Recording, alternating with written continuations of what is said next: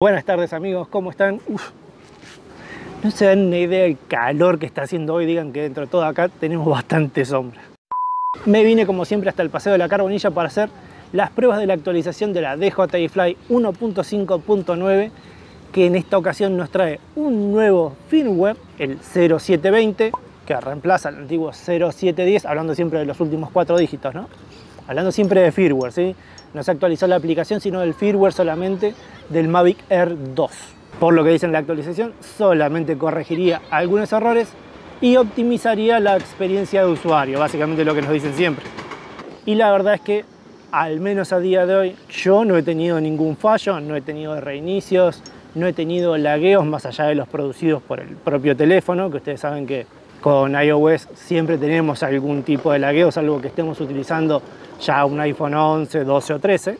Pero ya estando aquí lo que vamos a hacer es una prueba del RTH dinámico, que es una de las cositas que me preguntaron ya varios suscriptores que vieron el video de cómo configurar tu RTH de forma correcta, que si no lo viste todavía, te dejo por acá una tarjetita en el cual, error de mi parte, mala mía, di por sobreentendido que más o menos entendía cómo entrar al menú y cómo cambiar de lo que es el RTH fijo, digamos el RTH al punto de origen, hacia el RTH dinámico o básicamente el RTH que lo que hace es seguir a nuestro control remoto.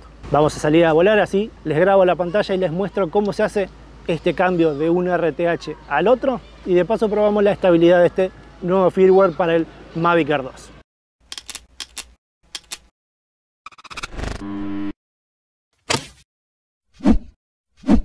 Muy bien, lo que vamos a hacer ahora es ponerlo en el aire, lo vamos a alejar por lo menos a 50 metros y 50 metros de altura para que básicamente se active el RTH como lo conocemos y no el de BC ni ningún otro.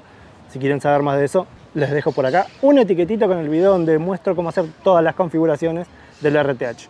Vamos a probar el RTH al punto de origen y luego lo que voy a hacer es, una vez que lo traiga, volver a subirlo, llevarlo a la misma distancia y a la misma altura, pero irme de aquí a dos cuadras para activar el RTH dinámico. Vamos a grabar pantalla, así ustedes pueden ir viendo más o menos todo lo que vamos a hacer. Déjenme que les muestro por acá en la parte de info la versión de la aplicación, que es la 159, y la versión del firmware, que es la 01010720, básicamente la que salió hoy. Muy bien, vamos a subir a 50 metros de altura. Ahí está perfecto. Y nos vamos a alejar 50 metros de distancia.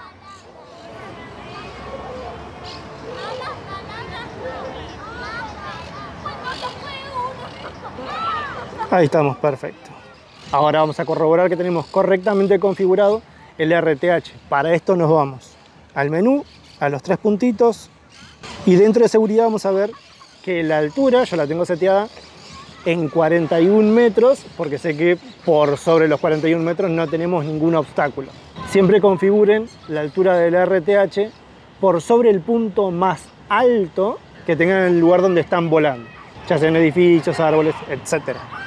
Lo segundo que vamos a ver es que efectivamente se haya grabado el punto de origen, que es de donde salió la aeronave. Para eso vamos a entrar al mapa y vamos a ver dónde está la flechita azul, esa es la aeronave. La línea roja que separa la H de ese triangulito azul es la ruta que fue siguiendo el dron. Y donde está la H dentro de un círculo amarillo es el punto de origen y es a donde va a retornar el dron cuando le demos al RTH. Vamos a hacer eso. Para activar el RTH pueden hacerlo directamente desde el control con este botoncito que tiene la H, ¿sí? pulsando y dejándolo apretado unos segunditos. Go home. Go home significa volviendo a casa. Y como pueden ver, el dron está volviendo al punto de origen, es decir, aquí mismo.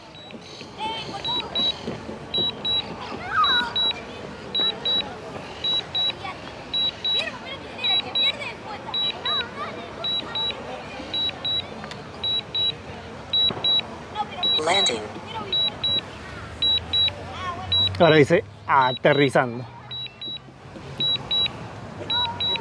La exactitud del aterrizaje siempre va a depender de la cantidad de satélites que tengamos en el momento de haber despegado y en el momento que se haya grabado el punto de origen. Ahí viene ya, pero lo vamos a detener. Para detenerlo también presionan una vez el botón de RTH y se cancela el RTH. Lo mismo se puede hacer desde este botón que está en la pantalla, donde también figura el RTH. Ahora vamos a hacer lo opuesto. Lo vamos a mandar de nuevo a 50 metros de altura.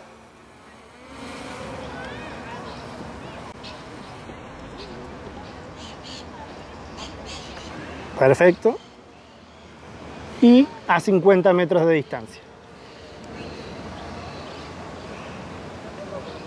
Bueno, un poquito más en este caso.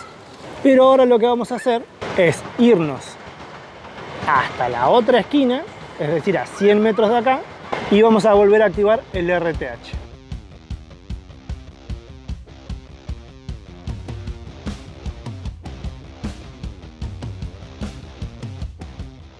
Recuerden que hasta acá yo no cambié la configuración del RTH y nos vinimos casi 150 metros hasta acá. ¿Qué es lo que va a pasar en este momento cuando yo active el RTH? El dron no va a venir para donde yo estoy, sino que va a ir hacia el punto de donde salió. Vamos a hacerlo. Vamos a activar el RTH, esta vez vamos a hacerlo de otra manera, no lo vamos a hacer desde el botón del control, sino desde el botón del menú. Lo van a ver abajo de un simbolito verde. Ahí, acá no se ve, pero yo se lo voy a estar grabando la pantalla. Y es igual que el despegue y el aterrizaje, ¿sí? Hay que, una vez que aparece el botón, hay que tenerlo apretado. Y ahí comienza. Go home. Y ahí, como van a ver en la grabación de pantalla, lo que el dron está haciendo no es venir hacia donde yo estoy, sino volverse hacia el punto de origen donde yo ya no estoy, que es un poco lo que les decía en el video sobre el RTH. Vamos a cancelarlo porque ahí no hay nadie. Lo que vamos a hacer ahora es cambiar de ese RTH al punto de origen al RTH dinámico para que el dron vuelva hacia el mando. Para activarlo lo que vamos a hacer es ir de nuevo al menú, a los tres puntitos, actualizar punto de origen y ahí dentro de punto de origen van a ver una imagen de un mapa, ¿sí? Y a su derecha la imagen de una flechita y el control. Exactamente como ustedes lo están pensando. La flechita indica el punto de origen, el RTH original, y el control significa el RTH dinámico o al control remoto. Lo vamos a cambiar al control remoto y le vamos a dar OK. El punto de origen fue actualizado. Ahora sí, nos vamos a ir a darle RTH Go home.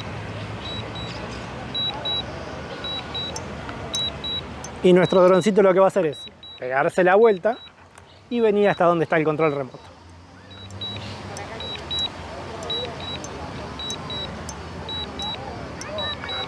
Ahí ya está viniendo.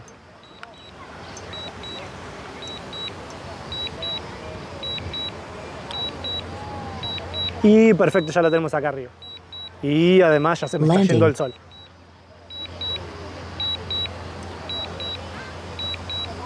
Perfecto, ahí ya está aterrizando.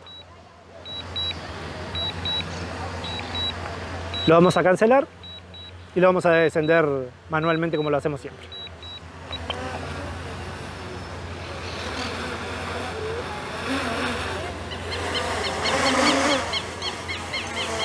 Muy bien amigos, eso es todo por el día de hoy. Espero que les haya gustado, espero que les haya servido. Fue básicamente un video a pedido de suscriptor por esto del RTH dinámico, así que espero les resulte de utilidad. Como les digo siempre, si van a salir a volar, háganlo con responsabilidad, háganlo de forma segura. Una cosita más, perdón antes de irme, les puedo decir que la aplicación hasta acá por lo menos resulta perfectamente estable, sin ningún problema, no tuve corte, no tuve problemas de señal, ni siquiera se lagueó y la verdad es que ya vengo teniendo problemas de lagueo por mi teléfono que ya está casi obsoleto obviamente, pero hasta acá podemos decir que viene todo bien. Les recuerdo que si quieren ver todas las configuraciones del RTH, ya sea dinámico o al punto de origen, estacionario o descenso, les voy a dejar por acá un video con todas esas configuraciones y nos vemos en el próximo video. Hasta luego.